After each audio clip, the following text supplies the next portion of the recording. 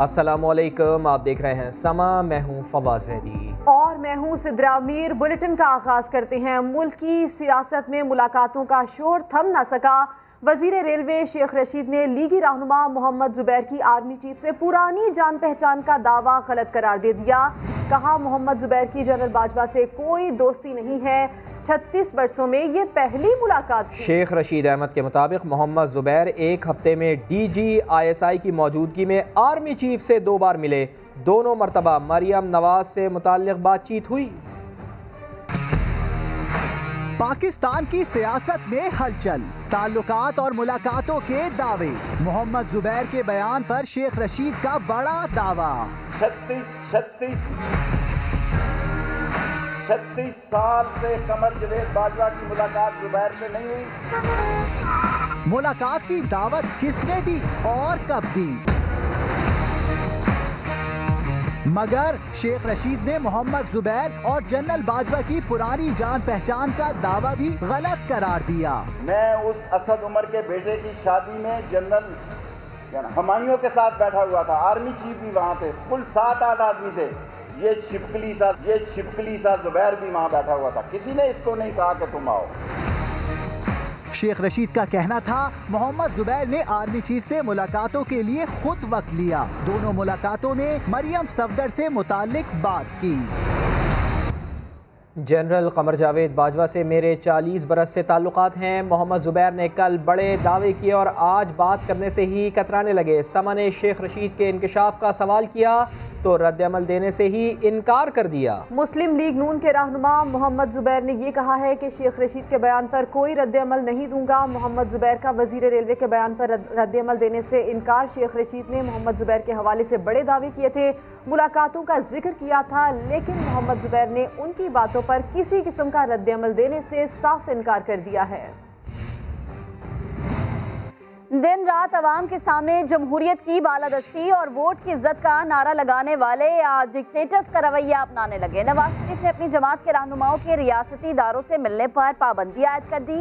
London से Twitter पर फरमान जारी किया कि चाहे इनफरादी सतह पर मिलना हो या जमाती सतह पर या फिर ज़ाती हैसियत में, हर बार इदारों से मिलने के लिए क़्यादत से मंजूरी लेना लाजिम होगा। नवाज़ लीग वालों, होशियार हो जाओ, खबरदार रह जाओ। आइंदा अस्करी क्यादत से खुफिया मुलाकातें महँगी पड़ सकती हैं। लंदन में बैठे नवाज़ शरीफ ने पाकिस्तान में मौजूद लीगी रहनुमाओं के लिए सख्त फरमान जारी कर दिया।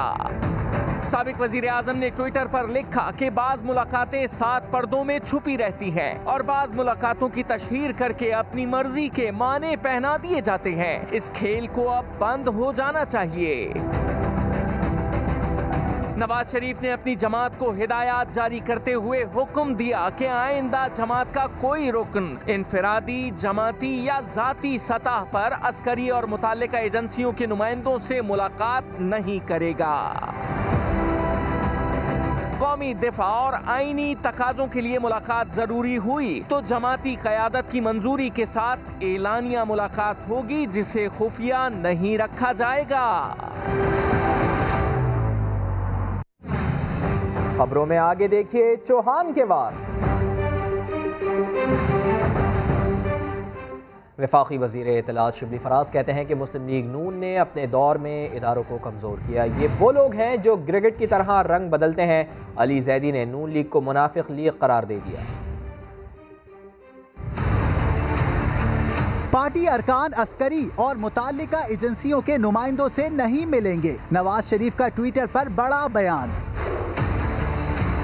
वफाकी वज़ीर इतलात शिबली फराज का दो टोक जवाब। समा के प्रोग्राम, नदीम मलिक लाइफ में कहा, सियासी और अस्करी मुलाकातों के हवाले से हुकूमत के पास रिकॉर्ड नहीं होता। जो भी इनकी हुकूमत रही है, इन्होंने नॉर्मली जितने भी इदारे थे, चाहे वो नैब हो, चाहे वो एफ़ आई ए हो, चाहे वो सिक्योरिटीज एक्सचेंज कमीशन हो, चाहे वो स्टेट बैंक हो, जितने भी इदारे हैं, उनको इन्होंने सिस्टमेटिकली काबू करने की कोशिश की। अली जैदी ने नून लीग को मुनाफिक लीग करार दे दिया। खुफिया अदारा क्या चीज़ होती है? कोई ये हिंदुस्तान के खुफिया अदारे पाकिस्तान के फोर्सेस हैं। अगर कोई पाकिस्तान के इंटरेस्ट की बात होती जो मर्ज़ी मिल ले तो ये पीएमएलएन का नाम रख दे पाकिस्तान मुनाफिक लीग। सारे मुनाफिक इसमें भरे हुए नदी मलिक लाइफ में लीगी रहनुमा मुसद्दिक मलिक ने मोहम्मद जुबैर की मुलाकात में मरियम और नवाज़ से मुतालिक सवाल पर कुछ यूँ जवाब दिया। सर मुलाकात हुई और नवाज़ शरीफ और मरियम डिस्कस हुए सर क्यों ज़रूरत पेश आई इस मुलाकात की? अगर आपकी ये बात ठीक है तो ज़रूर मेरे ख्याल में इसकी तरदीद आ जाएगी। मैं तो आपको वो बात बता रहा हूँ जो ज़ुबैर साहब का मौक़ है। मुसद्दिक मलिक ने यह भी कहा बहुत सी मीटिंग्स में सियासी रहनुमा और दीगर इदारे मौजूद होते हैं। शेख रशीद ने गलत बयानी की। और ज़िक्र मौलाना का भी हुआ। फजल रहमान ने कहा था कि वो आर्मी चीफ की खिदमत में पेश नहीं हुए, लेकिन शेख रशीद ने उन्हें चैलेंज कर दिया। कहा मौलाना ने भी जनरल बाजवा से वन ऑन वन मुलाकात की थी। अगर वो इनकार करते हैं तो मनासरा कर लें। दोनों ने क्या कहा? आइए आपको दिखाते हैं। मौलाना फजल रहमान, कमर जवेद बाजवा को वन टू वन उन्होंने मुलाकात की। अगर वो गलत समझे किसी चैनल पे आ जाएँ मैं वहाँ जाने के लिए और ये बताने के लिए तैयार हूँ। न इस सिलसिले में कोई साबित कर सकता है कि मैं जनरल बाजवा साहब की खिदमत में हाजिर हुआ ये साफ़ वाजह कर दूँ इस बात को चैलेंज करता हूँ। हफ़्ते तक टीवी पे आकर मुझे बताया जाए कौन सा लीडर ये कहता है कि वो तन्हाई में नहीं मिलता कमर जावेद बाजवा के साथ। किस्म की बातें पब्लिक में लाकर क्या पैगाम देना चाहते हैं? एक दफ़ा इनकार करे मैं डेट और जगह बताऊँगा लाहौर हफ़्ते के दिन। मौलाना फजल रहमान से लेके बिलावल तक सब तन्हाई में मिलते हैं। इससे पता चलता है कि दाल में सारा काला काला है?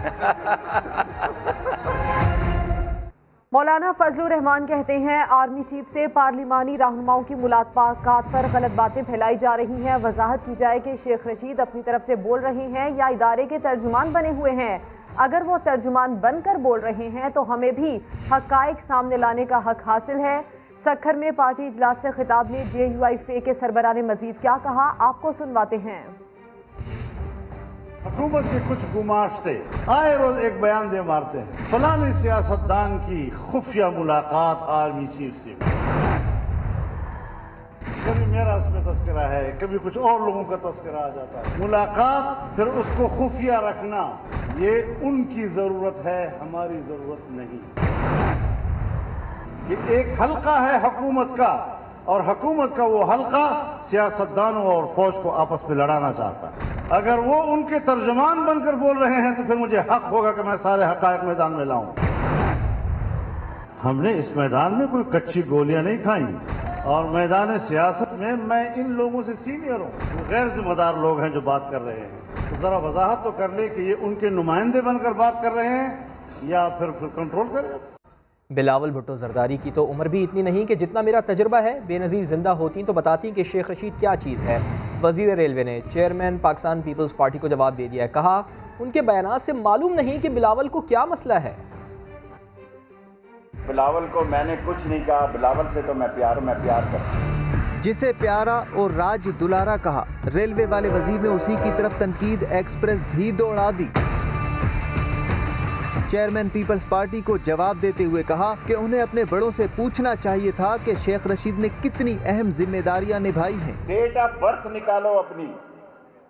तुम पैदा नहीं हुए थे बिलावल मैं कौमी सलामती का मेंबर था मैं फॉरेन अफेयर का चार दफ़ा मेंबर रहा हूँ। अगर आज आपकी वालदा ज़िंदा होती तो आपको बताती कि शेख रशीद किसका नाम है। बिलावल भुट्टो ने कहा था कि शेख रशीद का कौमी सलामती कमेटी से कोई ताल्लुक ही नहीं लेकिन वो तर्जुमान बने हुए हैं। कुछ गैर जिम्मेदाराना लोग जिनका कोई ताल्लुक नहीं है ना नेशनल सिक्योरिटी से ना फॉरेन पॉलिसी से। आजकल हर टीवी चैनल पे आके बात कर रहा है। फैसलाबाद में खिताब करते हुए शेख रशीद ने बिलावल भुट्टो को एक और बात का जवाब देते हुए सवाल पूछ लिया कि उन्होंने बिलावल भुट्टो जरदारी का आखिर बिगाड़ा क्या है? देखें बिलावल को मैंने कुछ नहीं कहा बिलावल से तो मैं प्यार करता हूँ। मेरा प्यारा है वो। वो मेरे नहीं जाना चाहता जहाँ मैं हूँ। आप उससे पूछे मैंने उसका बिगाड़ा क्या है? बिलावल भुट्टो जरदारी ने अपनी प्रेस कॉन्फ्रेंस में कहा था कि जहाँ शेख रशीद होंगे, वहाँ वो नहीं जाएँगे। बिलावल भुट्टो और शेख रशीद की नोकझोंक का ही ज़िक्र करेंगे। गुजशत रोज बिलावल ने कहा कि पीपल्स पार्टी आइंदा ऐसी किसी मीटिंग में शरीक नहीं होगी, जहाँ शेख रशीद मौजूद हों। बिलावल के बयान पर शेख रशीद ने भी जवाब दे दिया। बिलावल और शेख रशीद अक्सर एक दूसरे से मुतालिक बात करते दिखाई देते हैं। आपको दिखा आज के बाद तो मैं किसी भी मीटिंग में मौजूद नहीं होऊँगा। हम तो शेख रशीद साहब के साथ बैठने को तैयार ही नहीं होंगे। बिलावल को मैंने कुछ नहीं कहा। बिलावल से तो मैं प्यार करता हूँ। बिलावल से तो मैं प्यार करता हूँ। चुप हो जाए। प्यार करता हूँ। चुप हो जाए। तो आप उससे पूछे मैंने उसका बिगाड़ा क्या है? रशीद जो है इनकी का है। गटर वाटर के बारे में पूछे मगर इस इंसान के बारे में मत पूछ। पानी को कहना चाहता हूँ आसफ जरदारी सबसे बड़ा गटर है। गटर के बातें को आप गटर में छोड़े। Happy birthday my love gutter के बातें को आप गटर में छोड़े। कहता है अगर हमें पकड़ा तो हम खौफनाक बन जाएँगे।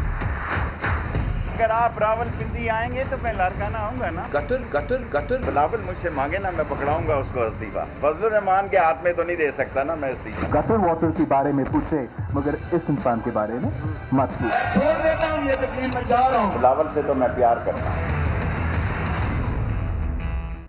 बाजवा साहब, आप सबसे मिल रहे हैं। इस कॉम को भी गले लगा लो। ये वो एम क्यू एम है जो पाकिस्तान के साथ खड़ी है। एम क्यू एम रहनुमा आमिर खान का कराची में जलसे से खिताब कहा, हमारे सौ से जायद कारकुनान लापता हैं। उनके बच्चे उन्हें ईद पर याद करते हैं। अगर लापता कारकुनान ने गलती की है तो कानून के मुताबिक सजा दी जाए। पता लगे उन लोगों को कि जो ये कहते हैं कि सिंध धरती हमारी माँ है और इसकी तकसीम नहीं होने देंगे।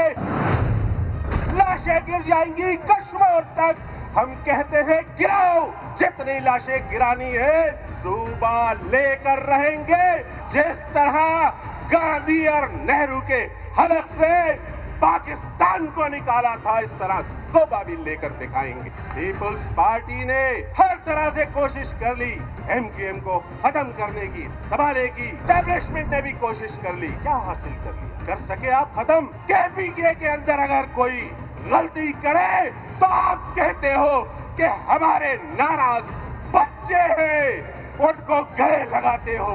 ये क्या भारत के बच्चे हैं? ये क्या पाकिस्तानी नहीं है? क्यों नहीं इनको आज़ाद करते? तय करो तय करो क्या आपको 22 अगस्त से पहले की एमकेएम चाहिए या 23 अगस्त वाली एमकेएम चाहिए। बाजवा साहब, आप सबसे मिल रहे हो, सबसे मुलाकातें करते हो। इस कौम को भी गले लगा लो और फिर देखो कि इंडिया कैसे कश्मीर तरफ़ मैली आँख से देखता है, कैसे सरहदों की तरफ़ देखता है, गले तो लगाओ आदमी कराची का हक मांगने के लिए एम क्यू एम सड़कों पर आ गई है। पार्टी की पैंतीसवीं सालगिरह पर करीमाबाद से मज़ार कायद तक कराची हकूक रैली निकाली। कई दहाइयों से बार बार इकतदार में रहने वाली जमात क्या कराची को उसका हक दिलवा पाएगी? ये रिपोर्ट देखिए। कराची से सबसे ज़्यादा वोट लेने वाली वाहिद जमात मुख्तलिफ़ अदवार में कई बार इकतदार में शराकत दारी वाली वाहिद जमात मगर अफसोस, कराची आज भी बुनियादी हकूक को तरस रहा है। जनरल परवेज मुशर्रफ का दौर या पाकिस्तान खपे का नारा लगाने वाले आसिफ अली जरदारी। हर दौर में एम क्यू एम हुकूमत का हिस्सा रही, मगर कराची वालों की दाल ना गली। गलती मैंने भी की है। मेरी भी बहुत गलतियाँ हैं। एम की बात कर रहा हूँ। बहुत गलतियाँ की हमारे पास जो पावर था, किसी के पास नहीं था। मगर वो पावर हमने सही यूज़ नहीं किया। जब मैं कभी बाहर जाता हूँ यूरोप में तो वो मुझे इस तरह देखते हैं कि ये इतने बड़े शहर का मेयर है और मेरे साथ सेल्फियाँ खिंचवाते हैं।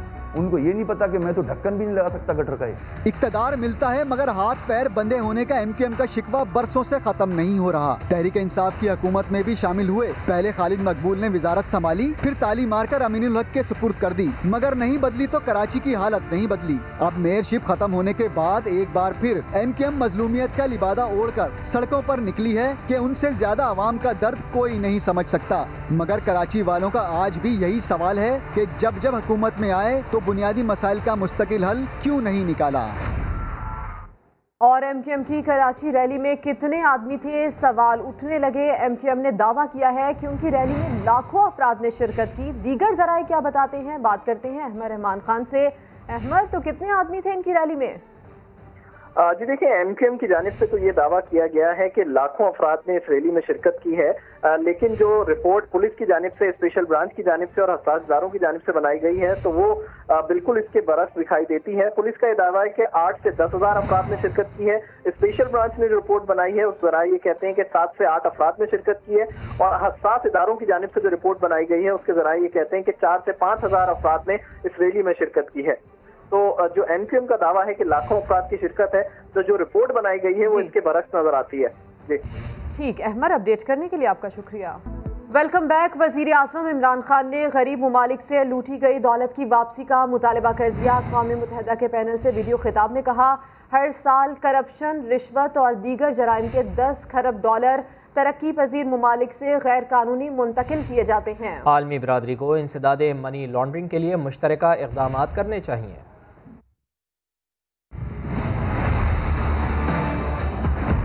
गरीब ममालिक की लूटी हुई दौलत वापस की जाए। वज़ीर अजम इमरान खान का अकवा मुतहदा से मुतालबा। The stolen assets of developing countries including proceeds of corruption bribery and other crimes must be returned immediately.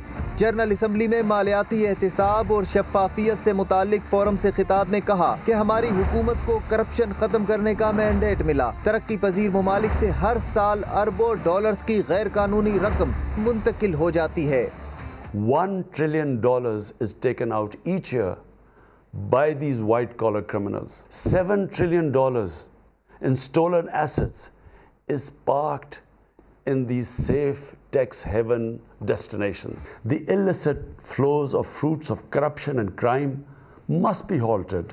वज़ीर आज़म का कहना था कि उनकी हुकूमत गुर्बत के खात्मे के लिए पुरज़म है रियासत मदीना के उसूलों पर मुल्क को फलाही रियासत बनाएँगे J D W sugar mills की तीन साल की आमदन 200 अरब रुपए है। दो अरब की ट्रांजेक्शन्स को जवाज बनाकर उठाए गए सवाल बिला जवाज और खिलाफ अकल हैं। जहांगीर खान तरीन ने अपना तफसीली जवाब एफ़ आई ए की मुश्तरक तहकीकती टीम के हवाले कर दिया है। इस्लामाबाद से देखिए अब्बास शबीर की रिपोर्ट। शुगर स्कैंडल में मिल्स बालकान की जानब से मनी लॉन्ड्रिंग का अंदेशा एफ़ आई ए की मुश्तर तहकीकती टीम की जानब से तलबी पर जहांगीर तरीन ने तफसीली जवाब जमा करा दिया। ग्यारह वॉल्यूम्स और चौदह सौ सफात पर मबनी दस्तावेजात भी हवाले कर दी। जहांगीर तरीन की जानब से जमा कराए गए जवाब के मुताबिक J D W sugar mills की तीन साल की आमदन तकरीबन 200 अरब रुपए है। ऐसे में दो अरब दो करोड़ की ट्रांजैक्शन को जवाब बनाकर सवाल उठाना नाकाबले फहम है। ये रकम तो हमारी तीन साल आमदन का एक फ़ीसद है। जहांगीर तरीन ने बताया कि J D W sugar mills ने गुजशत तीन साल के दौरान गन्ने के काश्तकारों को इक्यासी अरब रुपए से ज़्यादा अदायगियाँ की। आज तक J D W sugar mills ने किसी बैंक का कर्जा डिफ़ॉल्ट नहीं किया। जहांगीर तरीन के जवाब में ये भी कहा गया कि जिन ट्रांजेक्शन को बुनियाद बनाकर मुझसे सवाल पूछे गए हैं, उनके नतीजे में कोई डायरेक्टर शेयर होल्डर या स्टेक होल्डर मुतासर नहीं हुआ, इसलिए उनके खिलाफ जारी बिला जवाज इंक्वायरी को फौरी तौर पर बंद किया जाए। दूसरी जानब, बिलावल भुट्टो जरदारी ने फजलुर रहमान को नैब का नोटिस अपोजिशन पर दबाव डालने की कोशिश करार दे दिया। कहा, इमरान खान कुछ भी कर ले, अब अवामी मजामत को नहीं दबा सकते। एक बयान में बिलावल भुट्टो ने कहा, हुकूमत पी डी एम से बौखलाकर नैब को इस्तेमाल कर रही है। चेयरमैन पीपल्स पार्टी का कहना था ए पी सी के बाद सियासी रहनुमाओं को नैब नोटिस से हुकूमती अजायम खुलकर सामने आ गए। हुकूमत कुछ भी कर ले, अब अवामी मजामत को नहीं दबाया जा सकता। इदारे हदूद में रहें तफसीलात चंद ही लम्हों बाद। खैबर पख्तूनख्वा में कौमी एहतसाब ब्यूरो ने मौलाना फजलरहमान के दस्ते रास को आमदन से ज़्यादा असासों के इल्ज़ाम में गिरफ़्तार कर लिया। सज्जाद हैदर की रिपोर्ट। सबक D F O Musa Khan को गुजशत रात पिशावर में उनकी रहायशगाह से गिरफ़्तार किया गया। मुलजिम को एहतसाब अदालत ने मजीद तफ्तीश के लिए छः रोज़ा रिमांड पर नैब के हवाले कर दिया। मूसा खान बलोच के खिलाफ इख्तियार का नाजायज़ इस्तेमाल करके गैर कानूनी असासे बनाने का इल्ज़ाम है। मूसा खान इस वक्त सियासत में फ़ाल हैं और मौलाना फजल रहमान के करीबी रफ़ा में शामिल हैं, जबकि उनका बेटा तारिक बलोच मौलाना का पर्सनल सेक्रेटरी है। मूसा खान जमीयत उलमा इस्लाम तहसील पहाड़पुर, ज़िला डेरा इसमाइल खान में जे यू आई एफ़ के अमीर भी हैं। सजाद हैदर, समा, पिशावर। वज़ीर इतलात पंजाब फयाजुल हसन चौहान ने नवाज़ शरीफ को बानी M Q M part two करार दे दिया। शहबाज शरीफ की जल्द गिरफ्तारी की पेश गोई भी कर दी। जो allied parties for corruption for corruption की मीटिंग हुई एपीसी उस एपीसी के बाद सियासत की प्याली में एक तूफ़ान और उस एपीसी में एक दूसरी जो इन्वेंशन हुई, मियाँ मोहम्मद नवाज़ शरीफ साहब अल्ताफ हुसैन पार्ट टू के तौर पे सामने आए। एपीसी के अलामिये में अदारों को टारगेट किया गया है। यही फिफ्थ जनरेशन वार का एजेंडा है। पाकिस्तान के अंदर सैलाब आए तो फौज पाकिस्तान के अंदर जलजला आए तो फौज टीटीस की मौज, कभी जाली क्राउड की मौज, कभी एयानली की मौज, कभी तीफी भट की मौज। आप करे मौज और काम करे फौज। इसमें कोई शक नहीं है कि इस वक्त पाकिस्तान में अमन है तो उसके पीछे वर्दी है। नवाज़ शरीफ साहब जल्द ही गिरफ़्तार होंगे अपनी इस करप्शन और बदयांती के केसेस की वजह से। नवाज़ शरीफ साहब को इंशाल्लाह वापस लाएँगे लीगी रहनुमा एहसन इकबाल कहते हैं कि इदारों के सेल अपनी हदूद से बेकाबू हो जाएँ तो रियासत कैंसर का शिकार हो जाती है। नवाज़ शरीफ ने रियासत को कैंसर से बचाने की बात की। वो मुल्तान में हाई कोर्ट बार की तकरीब से खिताब कर रहे थे। आइन और कानून की ताकत पार्लियामेंट के पास है। डिफेक्टो ताकत को इस्टेब्लिशमेंट के पास है। ये तजाद इस मुल्क को टेक ऑफ़ नहीं करने देगा। जिस इदारे के सेल अनकंट्रोल्ड ग्रोथ में आके बाकी ऑर्गन्स के हिस्सों पे छाना शुरू कर देंगे, कोई बचा नहीं सकता। कोई बचा नहीं सकता। एपीसी के अंदर हमारे कायद ने जो खिताब किया, वो खिताब यही था कि अगर पाकिस्तान को बचाना है, रियासत को कैंसर का शिकार नहीं होने देना, अस्करी क्यादत को अर्ज़ करना चाहता हूँ। हाइब्रिड वॉर फौज के खिलाफ नहीं होती, कौम के खिलाफ होती है। पाकिस्तान को अगर हमने बचाना है, एक ही रास्ता है। पाकिस्तान 1973 के आइन के मुताबिक चलाया जाए, उसे कमज़ोर कर दिया। तो पाकिस्तान की बुनियादें कमज़ोर हो जाएँगी। वोट को इज़्ज़त देंगे और चार सरदा की सर जुड़ी बहनें सफ़ा और मरवा कामयाब ऑपरेशन के बाद लंदन से पाकिस्तान पहुँच गई। बच्चियों के वालिद ने मामला उठाने पर समा का शुक्रिया अदा किया। चार सद्दा की सरजुड़ी बहने सफ़ा और मरवा। कामयाब ऑपरेशन के बाद लंदन से पाकिस्तान पहुँच गईं। एयरपोर्ट पर चाचा मामू और खानदान के दीगर रिश्तेदारों ने इस्तकबाल किया। हमारे लिए बहुत जिम्मेवारी, वो जो था, हमारे वश में नहीं था। जो भी हो गया समूह वाला अल्लाह उसको खुश रखे। सफ़ा और मरवा चार सद्दा में अपने घर पहुँची तो खुशियों का समा बन गया। रिश्तेदार और इलाका मकिन बड़ी तादाद में मिलने पहुँच गए। अहल खाना कहते हैं, ज़रूरत पड़ी तो बच्चियों को दोबारा लंदन ले जा सकते हैं। अल्लाह सेहत दे अगर कोई नाखुशगवार वाक़ हुआ तो इंशाल्लाह ज़रूर वो डॉक्टर कह रहे हैं कि आप कभी भी आ सकते हैं ऐसी कोई बात नहीं है। सफ़ा और मरवा को ऑपरेशन के लिए करोड़ों रुपए की ज़रूरत थी जिस पर समा ने उनकी मदद का बीड़ा उठाया। मॉर्निंग शो में सोलह सौ रुपए से शुरुआत हुई थी। मैं सोलह सौ रुपये देना चाहता हूँ। मतलब मैं इस दिल से दे रहा हूँ कि अल्लाह अपने रिश्ते सच्चे में मुझे दे तो मैं सोलह करोड़ मैं बोलूँ ही नहीं किसी तरह किसी और से मैं। मैं ही दे समा की आवाज़ पर इलाज में मदद के लिए ओवरसीज पाकिस्तानियों ने अहम किरदार अदा किया था। जुड़वा बहनें वतन लौटी तो समा चार सद्दा के नुमाइंदे जज्बात पर काबू ना रख सके। जब मैं यहाँ पर पहली दफ़ा आया तो इन लोगों ने मुझे मना भी किया कि लोग आते हैं सिर्फ़ फेसबुक पे डाल देते हैं सिर्फ़ हमारे बच्चों को लोग नमूनों के तौर पर देखने आते हैं हम कवरेज नहीं देंगे आप। फिर मैंने इसके साथ वादा किया और आज वो वादा मैं पहाड़ के साथ कहता हूँ कि वो वफा हुआ। सफ़ा मरवा अगस्त 2018 में बरतानिया गई थी, जहाँ उनके पाँच पेचीदा ऑपरेशन हुए थे।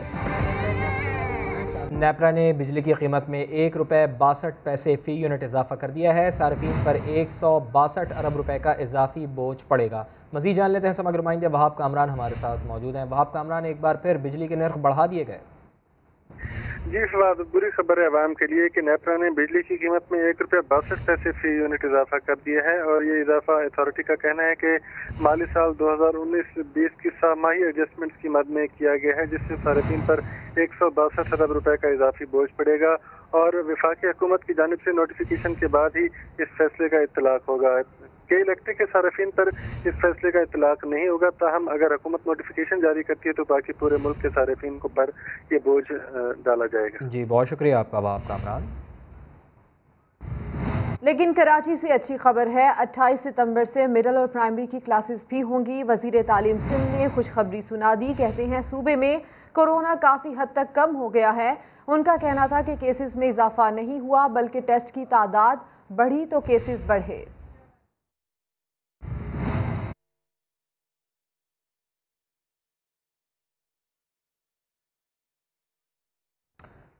आगे बढ़ते हैं और आपको बताते हैं कि सबक ऑस्ट्रेलवी test cricketer Dean Jones Bharat में दिल का दौरा पड़ने से इंतकाल कर गए हैं। पीएसएल का मास्टर कोच डीन जोन्स, दुनिया छोड़ गया, क्रिकेट को सौगवार कर गया। ऑस्ट्रेलवी लीजेंड उनसठ साल की उम्र में मुंबई में दिल का दौरा पड़ने से इंतकाल कर गए। प्रोफेसर डीनो आईपीएल शोज़ के लिए इंडियन बायोसिक्योर बबल में क्याम पजीर थे। पीएसएल में डीन जोन्स इस्लामाबाद यूनाइटेड के भी कोच रहे। पांचवे एडिशन में कराची किंग्स की कोचिंग संभाली। ऑस्ट्रेलिया के लिए डीन जोन्स ने बावन टेस्ट और एक सौ चौंसठ वनडे मैचेस खेल रखे थे। अभी लेंगे एक ब्रेक जिसके बाद होंगी हेडलाइन आप देखते रहिए समा